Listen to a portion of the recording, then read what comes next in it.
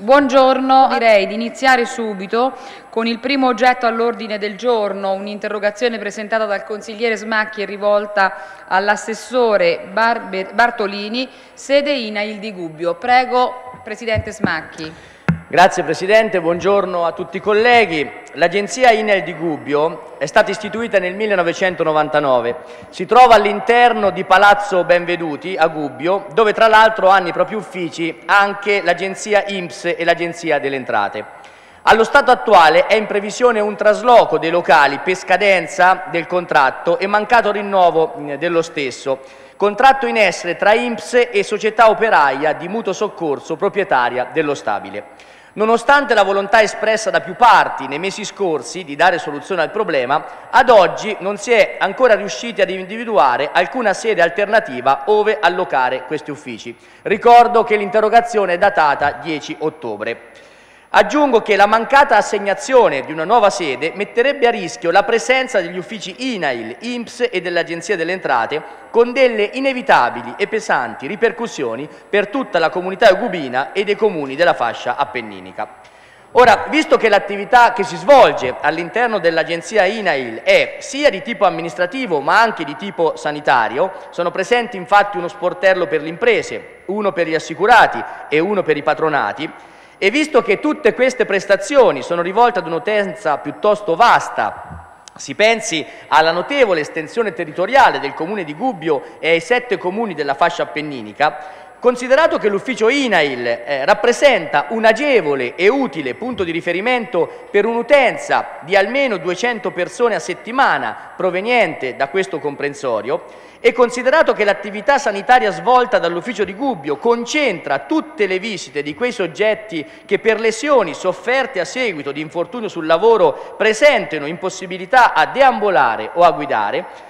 e considerato che a tali soggetti l'INAIL fornisce prestazioni in convenzioni con la struttura ospedaliera di Gubbio Gualdo, garantendo gratuitamente in tempi veloci l'effettuazione di esami radiologici quali RX, TC e RM, Visto che fino al 2014 l'apertura dello sportello INAIL era di tre giorni alla settimana, lunedì, mercoledì e venerdì, con un'apertura dalle 8.30 alle 12.30, e visto che pur mantenendo l'identico numero di accessi allo sportello, valutati come detto in circa 200 persone a settimana, con il tempo si è passati inspiegabilmente tempo. ad un'apertura ridotta di un giorno, ovvero soltanto il lunedì e il mercoledì con lo stesso orario e che allo stato attuale sarebbe incomprensibile un'ulteriore riduzione del servizio, evidenziato che i processi di riorganizzazione di enti ed istituti di carattere nazionale, come nel caso sopra evidenziato, devono tenere in considerazione non solo gli aspetti di risparmio economico gestionali, ma i servizi da dare ad un territorio e ad un'intera collettività che nello specifico diventano essenziali sia in termini di coesione sociale che di sviluppo economico, fatti che non possono essere messi in discussione per meri aspetti non strategici, come la permanenza o no di questi uffici all'interno di Palazzo Benveduti di Gubbio,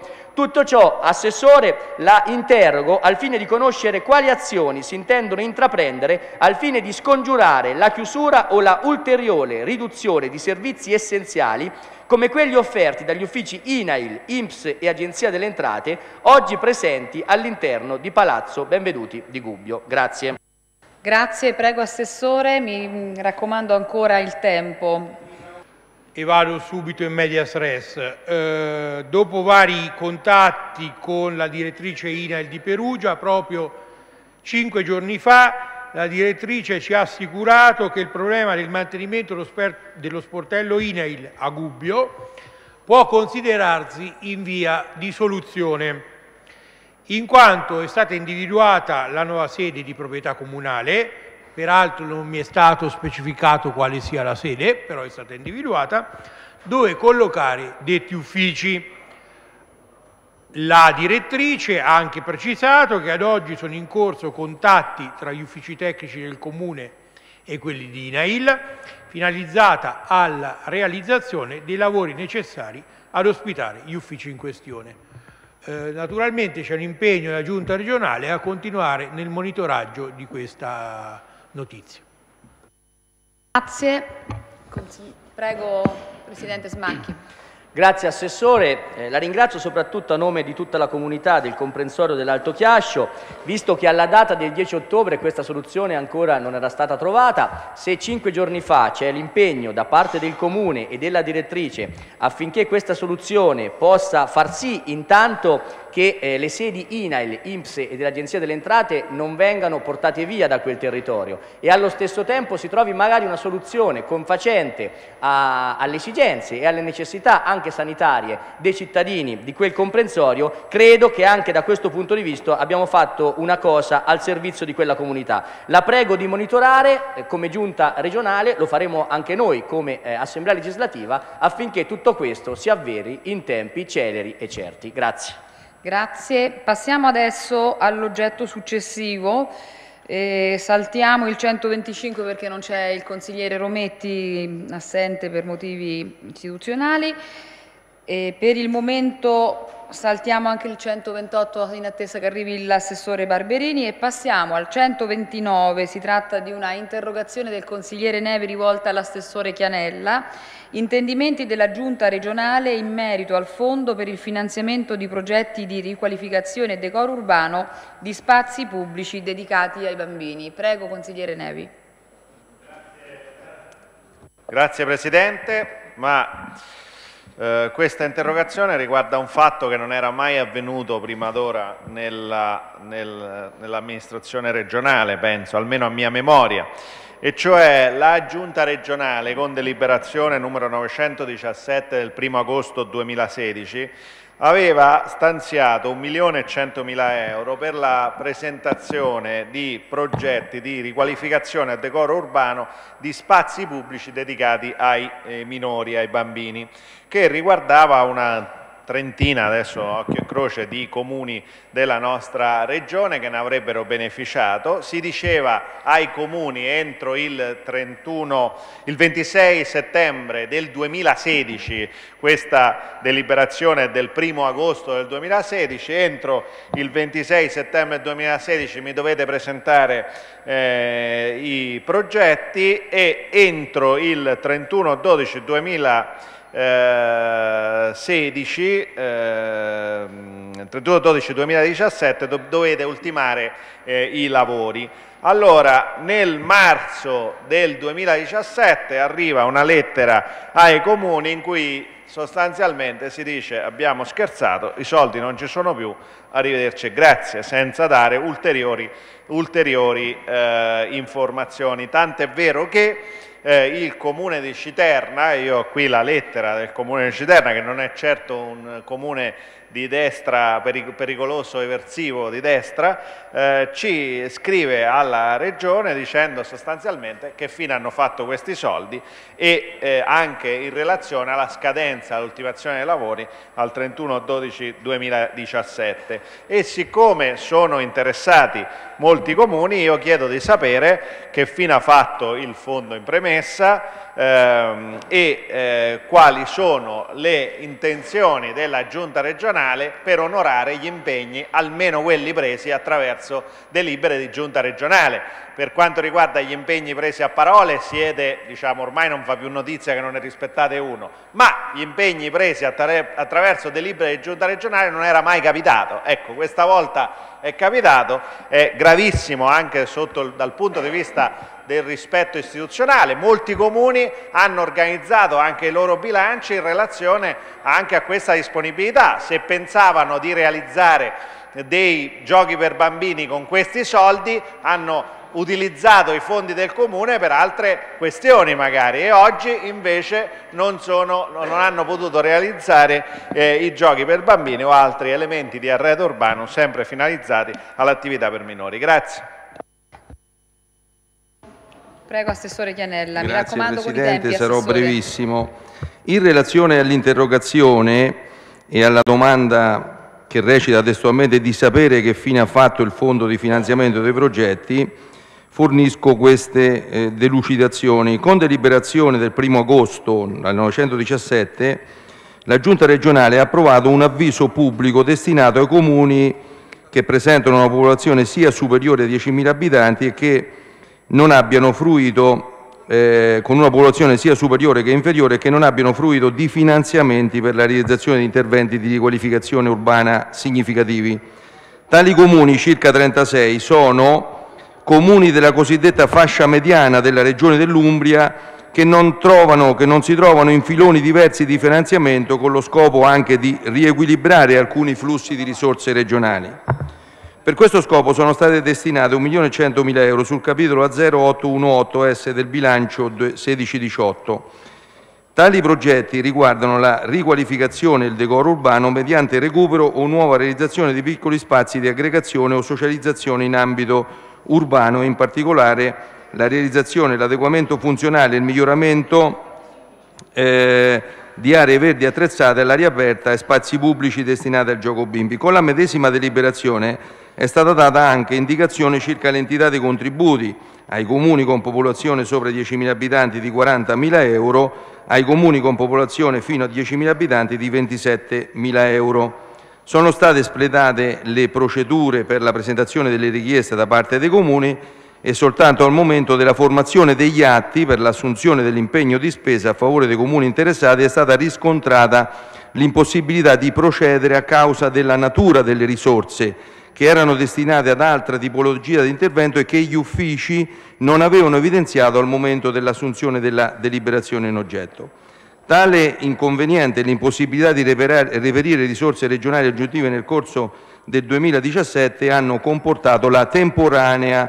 sospensione di tale intervento. Occorre tuttavia sottolineare che la situazione descritta è stata tempestivamente segnalata ai Comuni al fine di evitare loro qualsiasi tipo di problema, rappresentando anche che all'esito degli approfondimenti necessari si sarebbe comunque dato corso alla realizzazione dei progetti presentati. Non è vero che le amministrazioni interessate che hanno attuato delle scelte che hanno attuato delle scelte privilegiando tante spese in previsione di questi interventi perché la situazione è stata tempestivamente segnalata, che le procedure attivate dai comuni sono state solo una quantificazione di massima degli interventi ipotizzati e una semplice domanda acquisita al protocollo della Regione, che i Comuni non hanno mai effettuato affidamenti di lavori in quanto non è stata formalizzata appunto alcuna concessione contributiva e che pertanto non risulta che tale situazione possa aver arrecato alcun pregiudizio ai Comuni stessi. Attualmente il tema della riqualificazione e decoro urbano degli spazi pubblici dedicati ai bambini è all'attenzione della Giunta regionale e degli uffici competenti che sono impegnati al reperimento delle risorse necessarie nell'ambito delle ordinarie procedure di programmazione. Si spera che a breve si potrà avere una soluzione su questa questione. Vorrei però aggiungere che la Giunta regionale e così anche il sottoscritto e i responsabili degli uffici sono in costante contatto quotidiano con i sindaci su queste questioni come su tante altre che riguardano la vita dei comuni comuni che conosco bene, consigliere Nevi, che ho amministrato per tanti anni, che ho rappresentato per tanti anni, esattamente cinque anni e mezzo, in seno all'ANCI, i piccoli comuni ovviamente, e devo anche dire che ho con tutti, comuni di destra e di sinistra, un buon rapporto istituzionale e personale da tutti riconosciuto e con i quali abbiamo risolto molti problemi. La Giunta regionale è vicina ai comuni che rappresentano un baluardo del sistema Paese e questa polemica, onestamente alimentata anche sui social, appare speciosa e soprattutto di sapore elettorale. Prego, consigliere Nevi. Ma, Presidente, io rimango basito della risposta del consigliere, dell'assessore Chianella, perché insomma eh, questa eh, polemica che lui chiama speciosa di, eh, di sapore preelettorale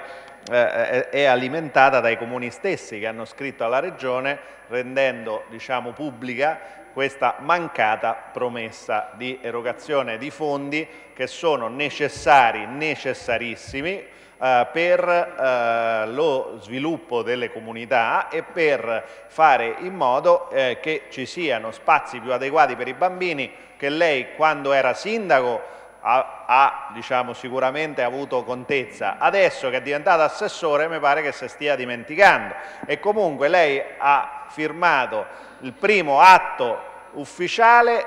a cui non è stato dato seguito in questa regione. Penso sia un bel primato e questo riguarda i comuni stessi, quindi la situazione è veramente incresciosa eh, eh, che tra l'altro fa perdere di credibilità anche all'istituzione regionale, questa è la cosa peggiore, ma eh, non solo, lei non ha nemmeno detto, io mi aspettavo che stamattina ci annunciasse quando eh, fosse riconfermato lo stanziamento e quando i comuni potevano invece avere la somma, invece no, l'ha buttata sui tecnici, cosa mal costume tipico di chi governa, cioè addossare le responsabilità ai tecnici e è, si è limitato a dire ci stiamo impegnando e speriamo di riuscire. Ecco, viva, viva la, eh, la, la No, nel senso, viva la sincerità, ecco, eh, io rimango basito, c'è una delibera di giunta che in teoria dovrebbe essere una cosa seria, però ne prendiamo atto, chiaramente mi ritengo totalmente insoddisfatto della risposta, grazie. Bene, andiamo avanti, passiamo all'oggetto 133, è un'interrogazione del consigliere Brega rivolta all'assessore Cecchini. Permessi regionali di ricerca geotermici. Prego, consigliere Brega. Grazie Presidente, non era la quinta, mi ha, abbiamo anticipato. E, no, no, va bene. E, volevo praticamente inter interrogo l'assessore la, rispetto a una vicenda nota che è appunto quella della geotermia. Come l'assessore sa, si ricorda, noi qualche mese fa abbiamo approvato, prima in commissione e poi in aula, all'unanimità una risoluzione dove eh, prendeva atto di quello che i comuni interessati sul tema della geotermia avevano deliberato nell'assise sia di giunta che di consiglio comunale eh, dichiarandosi contrari diciamo, all'installazione all dell'esperienza della geotermia nei comuni interessati, in particolar modo nella zona di Castelgiorgio e dell'Orvietano. In, in, in tal senso da parte della giunta in quella vicenda si era preso atto da quella situazione anche perché la maggioranza eh, dell'Aula aveva appunto votato all'unanimità quell'ordine del giorno e lì eh, poi non abbiamo saputo più nulla rispetto a quella decisione. Nelle settimane scorse invece abbiamo eh, preso atto, siamo a conoscenza che gli uffici regionali hanno autorizzato un iter, anche se diverso, sempre in quei territori eh, per quanto riguarda l'esperienza della geotermia. Allora io eh, interrogavo l'assessore e la giunta regionale per capire come, qual è la razza di questa situazione considerando che gli stessi territori sono quelli sia della prima fase che della seconda fase, l'oggetto è sempre lo stesso, quello della geotermia, non pur volendo non andare contro le leggi, però credo che politicamente nel, eh, sia irrispettoso nei riguardi di quei comuni e di quelle diciamo, popolazioni di quei cittadini che si sono espressi diciamo, a unanimità contro questa esperienza della geotermia. Grazie. Grazie, prego Assessore Cecchini. Il consigliere Brega pone l'attenzione su un tema che ha visto un grande confronto, negli, soprattutto nel, nell'ultimo anno, eh, relativamente alla eh, eh, possibilità eh, di eh, utilizzare come fonte energetica la eh, geotermia e quindi i relativi permessi che erano in corso. C'è stata una vicenda che noi tutti conosciamo, rispetto alla quale, in base alle normative vigenti, la Giunta avrebbe eh, dovuto esprimersi. Questo accade quando in conferenze di servizi, in procedura di via, c'è un dissenso da parte di eh, un'istituzione eh, che può essere superata solo dalla Giunta regionale e tutti quanti sappiamo che la Giunta ha rispettato il eh, mandato del Consiglio regionale, avendo votato anche i componenti di giunta, diciamo, le, eh, i documenti del Consiglio regionale, così pure il piano energetico ha individuato una possibilità minima di utilizzo eh, di eh, geotermia in questa regione e, e, questo a livello dire, di in, programmazione, impostazione politico è la nostra volontà. E dopodiché questo non vuol dire che nel momento in cui anche un Consiglio regionale si pronuncia eh, va a superare normative vigenti europee e nazionali che invece i dirigenti quando portano avanti un'istruttoria hanno il dovere di rispettare. Quindi in questo caso, siccome il, la richiesta non è, è, è di ehm, attività previste, eh, sono state autorizzate ricerche eh, permessi eh, diciamo di, di, ricerca, eh, solo attività preliminari di tipo eh, investigativo superficiale, non c'è un atto amministrativo che appunto autorizza da una concessione per lo sfruttamento, quindi siamo ad una fase precedente, gli uffici nel rispetto delle normative eh, hanno dato un parere positivo appunto ad un'indagine esplorativa, anche in presenza di eh, posizioni non favorevoli di alcuni sindaci del territorio che però gli stessi hanno detto che, di avere piani regolatori compatibili, quindi previsioni urbanistiche compatibili con questa attività. In ogni caso il, la condetermina dirigenziale è stato quindi eh, emesso un provvedimento solo per l'attività preliminare di tipo investigativo eh, e che consistono in rilevamenti geologici strutturali, rilievo geochimico, prospezioni geofisiche e nessuna autorizzazione quindi è stata rilasciata relativamente alla realizzazione di perforazioni esplorative né tantomeno per la realizzazione di eventuali impianti geotermici. Nel momento in cui il, eh, ci, sarà, ci sarebbe, ci fosse un esito positivo allora il richiedente, la società Tosco Geo SRL, potrebbe chiedere appunto eh, di eh, avere autorizzazioni per eh, perforazioni e quindi per eh, la realizzazione di eventuali impianti. A quel punto eh, inizierebbe un procedimento che prevede anche la valutazione di impatto ambientale, oltre che naturalmente eh, tutte le procedure previste dalla conferenza di servizi e in quel caso quindi ci sarebbe tutto un iter da portare avanti. La verità è che all'oggi la società eh, non ha ancora adempiuto ad alcune delle disposizioni previste nel, nell'atto eh, eh, autorizzato con determina dirigenziale e, e quindi l'ufficio immagina che questa eh, autorizzazione eh, sarà eh, come dire, dichiarata decaduta proprio per il fatto che eh, la eh, Tosco Geo non ha eh, ottemperato ad alcuna prescrizione. Grazie, prego Presidente Brega. Grazie Assessore, la ringrazio per la sua puntualità e per la ricostruzione dei fatti,